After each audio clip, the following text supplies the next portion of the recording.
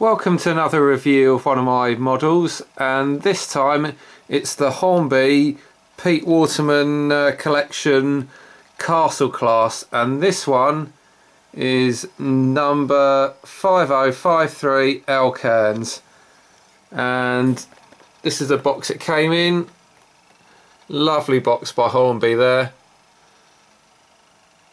Really nice presentation box that they've provided with this one and I know this doesn't exactly fit in with my sort of um, southern region period that I have for my layout but it was such a nice model that I saw in the shops um, I think I got this back in the spring.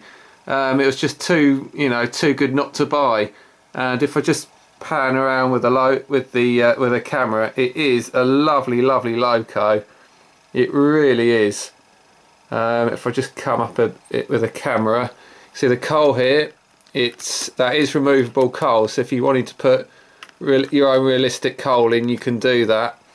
And the only shame for me is that the nameplates and the number plate are not etched. They've obviously just put from the looks of it it's obviously just you know decal transfer stickers. That's a bit of a pity. It would have been nice if they could have um, done that with uh, etched nameplates. Um, but other than that it's a lovely loco it really is, and I, I, just couldn't resist buying this. And at the end of the day, it's in BR livery, so it, it does fit in with the um, obviously the BR period for my layout, even if it isn't obviously um, southern region. Um, if I just run it, it's a lovely loco to run around. It really is.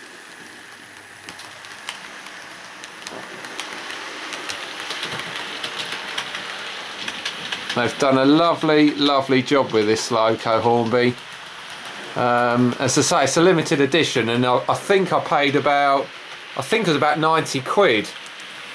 Um, so, um, quite expensive, but uh, well worth it. And if I just bring it forward a bit more, about there I do, you can see they've got some lovely cab detail in there.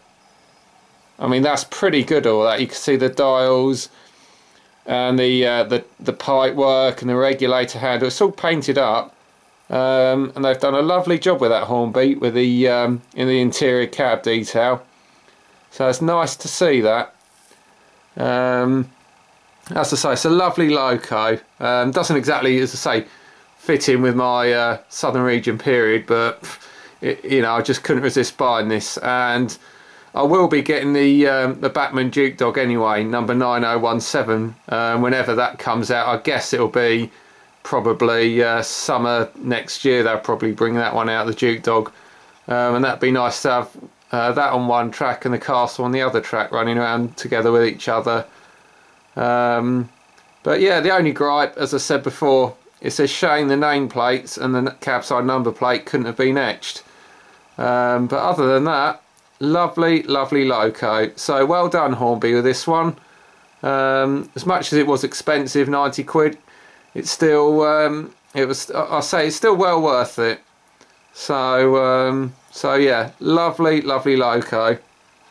And uh, that's my review of the um, the Hornby Pete Waterman um, Castle class number 5053 Earl Cairns any comments, feedback, uh, please post in the comments box below. Okay, cheers. Thank you.